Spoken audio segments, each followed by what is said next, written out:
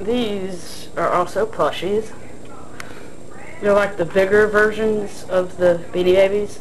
And this one's my favorite. My mom got me that one for Valentine's Day.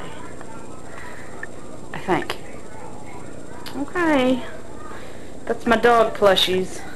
Subscribe if you want to.